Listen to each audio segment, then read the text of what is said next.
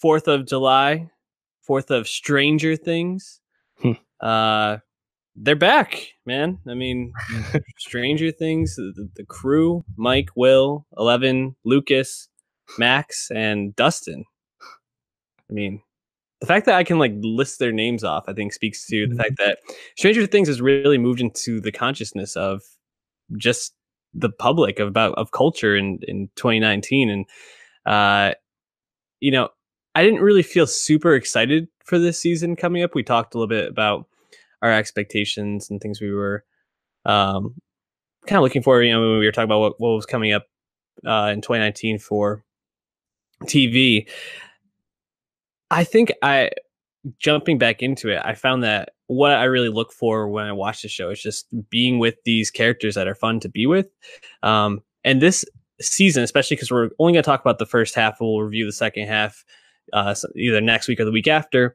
Um, I didn't find myself enjoying being with some of them as much, but I think that's because of the age they're at now. Like someone like Mike, I found myself being like, fuck Mike a lot. like, such a little prick. Um, you know, Different Hopper, species, Doc. um, Hopper, uh, some of his stuff works for me, and some of it is really a, a bit grating. Uh, still stand David Harbour though; he's just always fun to be around. Um, but yeah, it, they had this flashback. I think it was in episode three when Will is go- is really upset, and he's thinking about back to like season one, these memories they had, and they when they showed them and how young they were, I was like, damn, how, it's crazy that they were that young and this is where we're at with them. How are you feeling? Just uh, temperature check on Stranger Things season three and being back with the gang. Yeah, uh, I like this season because it definitely feels like a continuation, uh, a true progression of the story of the characters.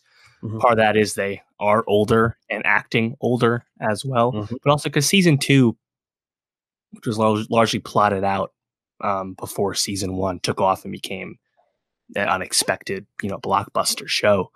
Um, season two was just kind of like season one B.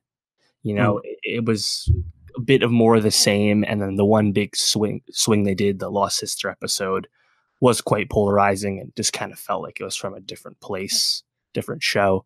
But now getting back, it, I think just the, hangs is why I'm there, and Mhm. even if you know Mike, at least in the first half of the season that we're discussing, uh, isn't as likable. It, I just want to be with these characters and see what they're doing. Yeah. you know, and the relationships they have with everyone.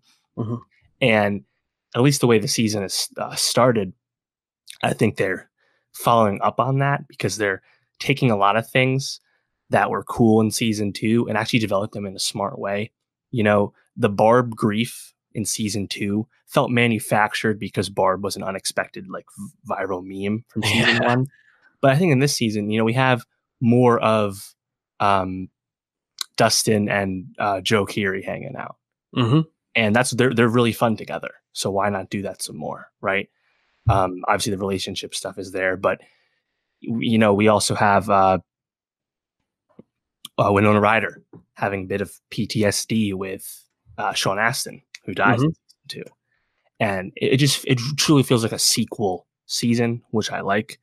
Um, the upside down framing of it all, I think it's still you know just kind of up and down because sometimes it just feels like it gets in the way of uh, what's more fun, which is just the hanging and the relationships and everything.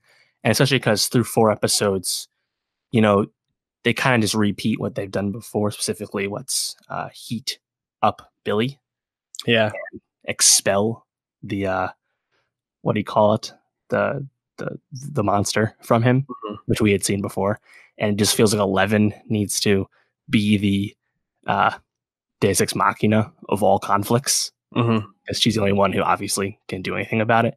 But even if it's familiar, it's such a fun show, and obviously the the 80s window dressing is done so thoughtfully and looks so great. Mm-hmm. It's just it's just fun for the hangs, you know.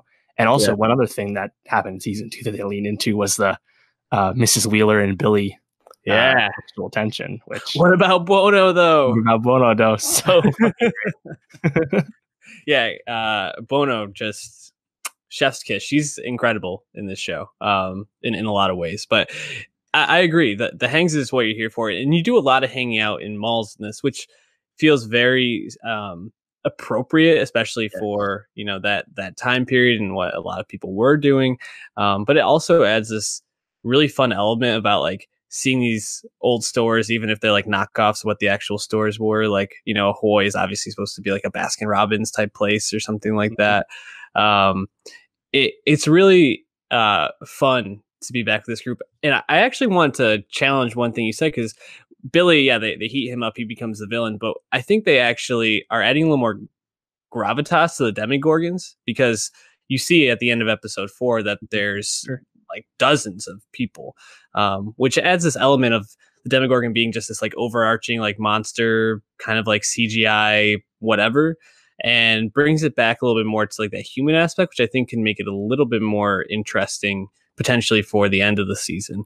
Um, I do think you know uh, El being the the Deus Ex Machina is something that the show doesn't really know how to write around right now, um, No, unless you bring in her sisters uh, or the other experiment or her siblings, Yeah. whatever they are, the test experiments. But we don't know if they're going to do that. Um, so definitely some uh, things to be looking out for. Um, what, what characters you, you've mentioned like Joe Keery, um, Steve, and, and Dustin together? What other characters have you really enjoyed this season so far? Oh, I've really liked um, what's her name? Who's hanging out with them? Maya Hawke's character, Robin. Robin. Yeah, the the the child of Uma Thurman and Ethan Hawke. By the way, Yeah. Uh, her I think it's her first first show role. She's she's awesome. Yeah. uh, and just another like it was just another smart addition to the ensemble. The same way Max felt so effortless when the way she was added in last season. Mhm. Um, so I really liked everything they got going on. Even Dustin's uh, sister, who or it's not uh, uh, fuck, what's Mike's sister. no, uh, Caleb McLaughlin, his little sister with the ice cream. Um, Oh, Lucas's sister. yeah. She also had a bit of a, a virality to her in a few small moments in season two, bringing her in, but actually not doesn't doesn't feel forced this time around. Mhm. It, it's just I just like the way they've slowly expanded everything. And as you said, the Starcourt Mall is a great setting. So is the pool, for that matter. Yeah. You know, I like that we're not. I like it's summer. I like that we're not in the school again. Um, you know, we're kind of p- past the fish out of water stuff with Eleven, even if she still doesn't know how to speak complete sentences for some reason. Mhm. Um, yeah, but I also I, I like how Billy is uh, more involved because he really felt in season two like he had a purpose in a previous draft and it was just kind of cut. So he was just kind of really one dimensional goon figure that was just kind of there. I like that he's at least being used as the host, the bad of sorts. So that's smart. And I think Dacre Montgomery is pretty pretty compelling in that as well. And even before that, because he's so shredded, the the whole uh, bit with Mrs. Wheeler is just hilarious. yeah, and all the moms just in Yeah. general. Um, Hi, Billy. yeah. I I also really like what they've done with Will because if you think about the the natural way that things come about as you're a teenager is there are you know those those friends or those people in the friend group who kind of move forward and start looking to the other aspects of life and those that stay a little bit more ingrained in their childhood um, a little bit longer and, and that conflict that ri- arises. But then you also bring about the idea that maybe Will is gay or bisexual or something outside of just being a straight white kid white male is pretty interesting and something that they're obviously thinking about um, and the conflict of you know he was basically sidelined for two seasons Yeah. he got he got the He's tough hang through two seasons. Let's be real. Yeah. he got the Doug in the Hangover treatment, where they're just like, we're just gonna put you out of frame and let the other people cook. Um, it's nice to like see them realistically deal with it, where these other kids have kind of moved on, and he's kind of like stuck in that like phase he was before he went to a coma for two years, basically, or or two school years. So, um, some really, I, I thought, I think some really well done stuff, and I, I also really like all the relationship stuff. I find it very funny and very like kiddish. Like even like watching them like kiss sometimes it, it's very it's very well done. It's like little kid like ki- or like early like teenage kissing. So they they really do it very tastefully. And Hopper wanting the door open three inches uh, Yeah. is a, a pretty good bit. So definitely some some good stuff there. How do you feel about Nancy and Jonathan? I think they're they're they're, they're been the weak links thus far, just because they're not as fun to be around. Um, their relationship is it's okay, I guess. Um, I think most people want her to be with Steve. Um, I think that's probably not happening now. It's fine, but in the meantime, at least they're doing stuff that's like involved in the main plot. But they haven't interacted with really the rest of the cast at all.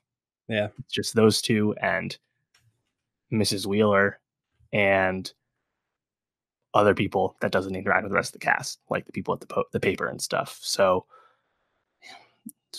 want to see where that's going. But yeah, they're, they're um they're just I don't know because like now they're having relationship trouble again, or they've split whatever it is, and I don't know. It just feels like we, we we're kind of spinning some wheels again with them, mm-hmm. just because maybe they don't know more interesting way to integrate them. I don't know. I mean, it makes sense that we have distinct arcs and storylines, and not everyone's hanging out as one big mob, obviously.